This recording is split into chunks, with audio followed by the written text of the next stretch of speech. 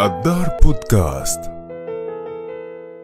قصة العلاقات المغربية البلجيكية تمثل نموذجا ناجحا من نماذج التعاون الثنائي بين الدول. إنها علاقة ضاربة في جذور التاريخ وتمتد إلى النصف الأول من القرن التاسع عشر عندما سعى الملك البلجيكي ليوبولد الأول إلى ربط علاقاته مع سلطان المولى عبد الرحمن باقتراح من قنصل بلجيكا لدى داي الجزائر. وتوج هذا المسعى بافتتاح أول قنصلية بلجيكية في مدينة طنجة. ومنذ ذلك التاريخ لم يتوقف قطار التعاون المغربي البلجيكي عن السير قدما على الرغم من مطبات وحدة القرن العشرين المزعزعة فمباشرة بعد الاستقلال استعادت العلاقات المغربية البلجيكية ألقها ونموها وتعززت على المستوى الاقتصادي والاجتماعي والإنساني. يكفي أن نتذكر اليوم أن 20% من سكان العاصمة البلجيكية والأوروبية بروكسل من أصول مغربية.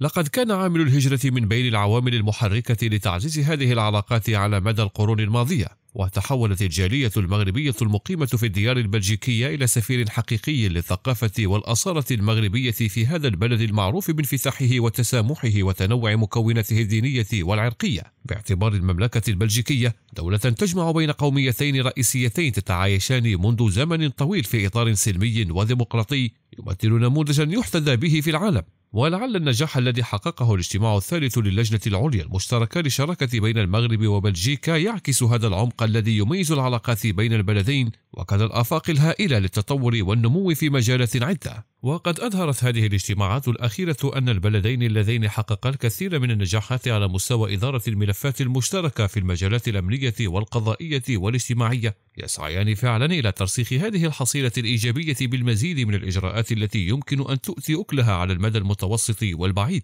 ويعد التعاون الأمني بين البلدين نموذجا حقيقيا لهذه التجارب الرائدة في علاقات الدول الأوروبية بجيرانها في شمال أفريقيا والشرق الأوسط. ولعل إقرار المسؤولين البلجيكيين في مناسبات عدة بالدور الذي تلعبه المصالح الأمنية لبلادنا في تعزيز الأمن الوقائي والاستباقي ضد التهديدات الإرهابية التي تهدد المنطقة عموما ودول الاتحاد الأوروبي خاصة يشكل أساس الثقة القوية التي تربط بين المملكتين.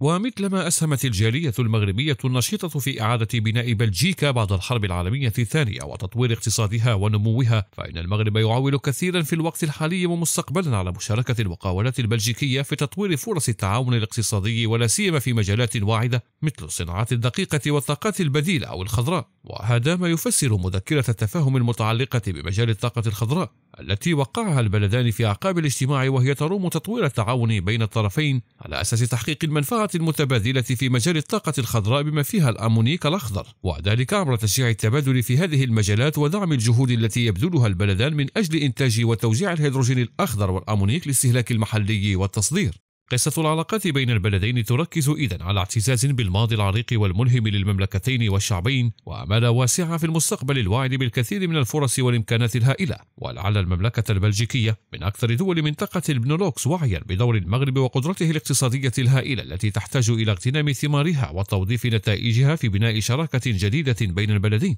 لكن لا بد من التذكير بأن على عاتق بلجيكا أيضا مسؤولية أخرى لا تقل أهمية من أجل ضمان بناء هذه الشراكة. إنها مهمة الدفاع عن مصالح المغرب في الاتحاد الأوروبي الذي تحتضن بلجيكا عاصمته وتعد بلدا أساسيا من البلدان المؤثرة في سياسته. وإذا كانت بروكسيل تؤمن فعلا بمبدأ التعاون رابح رابح الذي لطالما دعت إليه فمن الضروري أن تبذل كل الجهود السياسية والدبلوماسية التي تجسد هذه القناعة. الدار بودكاست.